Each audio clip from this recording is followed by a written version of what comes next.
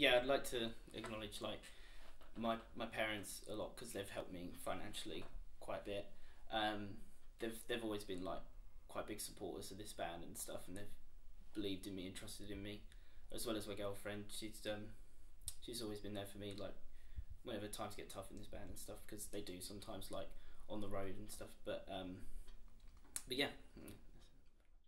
Well, I would like to thank the rest of the guys in the band because um, honestly, um, I wouldn't know where I am today if I hadn't have met those guys, um, and also the and friends and family as well because you know always being supportive, always liking everything that we've put out, and um, always coming to our shows, buying our merch. Um, like especially my parents, they've bought like at least one of every item of merch, and uh, they always like to come and wear it to our shows, and um, I always feel blessed every time they come come come into our shows and embarrass myself, or if um, they like to go and come and cheer us on uh, at the front of every show. It's, it's, it's, always great.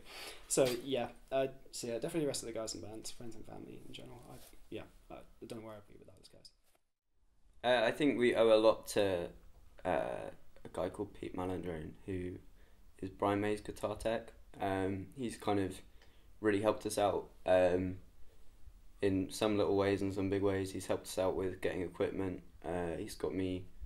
I I mean, we're all students. We're all trying to kind of find our way through it, and he's hugely like helped us with getting amps and kind of uh, pedal boards and all that stuff. But then as well, whenever I write a song, I always need to show it to Pete and just make sure that it's okay with him before we kind of take it any further. Um, but yeah, he's been he's been great with helping us out, kind of both musically and financially. Um, and then kind of we've just got people that have been around and kind of come to watch shows since we started.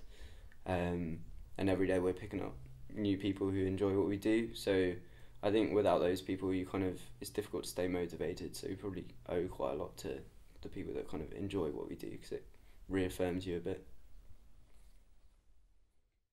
Um, with thanking people, it's definitely got to be my mum and dad. Like, yeah, I know it's typical, but it's it is they're the people like who buyed me my instrument, and like especially like my mum and dad like supporting me to do the career I want to do. Like they didn't, they were full on supportive of like me going to uni and doing this and like developing all my time into it because this is the only thing I do. To be honest, like music is the only thing I'm really good at. So yeah, it definitely has to be my mum and dad.